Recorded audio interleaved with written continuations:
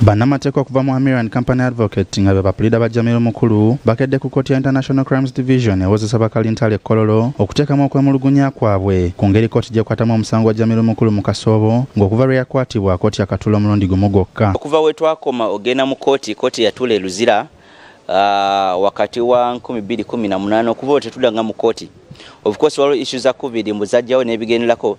Naye guno omusanga at least okuva covid eyagwe gwali badde gusimbula bagutandika. Godfrey tulyamusima akulembeddemu bannamateeka ba jamiro mukulu agamba basoose kwebuuza ku jamiro mukulu nga tebannakola kino era atubulidde nti omuntu wewe yali akwatibwa mu ggwanga lya tanzania bamuvunaana musango omulala ate bwe yatuusibwa kuno buli kimu ne kikyuka. Mu luzungu kyekiyita extradition.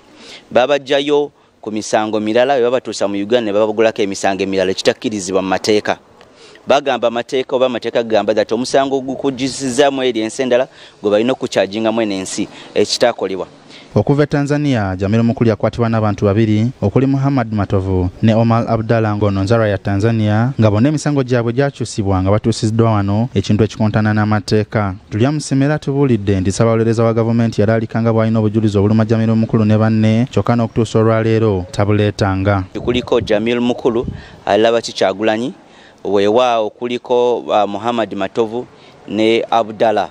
Naye abo be basatu be bajja mu nsi ez'enjawulo okulaba nga bagatta ku muguno omusango. Kooti yali yasalawo that egenda kutwa ze tunaita disclosures oba e, obujulizi bwonna omuwoleza wa gavumenti bagenda okwesibako. Bategeeza ku olwo that buwerako ekutiya nga ssatu namba. Naye okuva olwo kati tetubufunanga era okuva olwo baclients baffe eddembe lyabwe eri obuntu ono bannamateeka ba jamiro mukulu we basinzidde ne basaba kkooti eyimbule jamiro mukulu ne banne ku nsonga ez'enjawulo. Omuli n'okumutulugunya ng'akwatibwa ekitakkirizibwa mu mateeka nga ne ku kino baagattako okutulugunyiza abantu abalala mu maaso ge mu ngeri y'okumutiisa. Ekintu ekikyali ekikyamu. Waliwo abantu be baatulugunya mu maaso ge okulaba nga bamutiisatiisa. Bamwambula engoye okulaba nga azina bukunya mu maaso g'abantu ab'enjawulo abaali bakuŋŋaanye.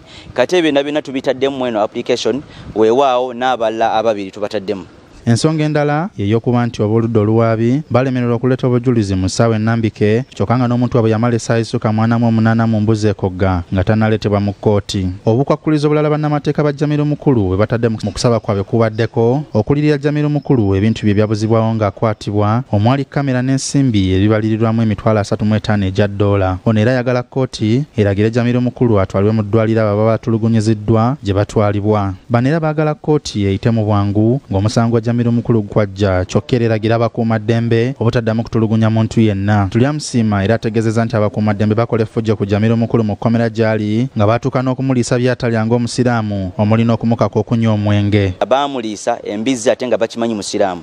Ekyokubiri baamunywesa omwenge ate nga bakiramu musiraamu ate nga tagunywa weewawo nga talya na mbizzi.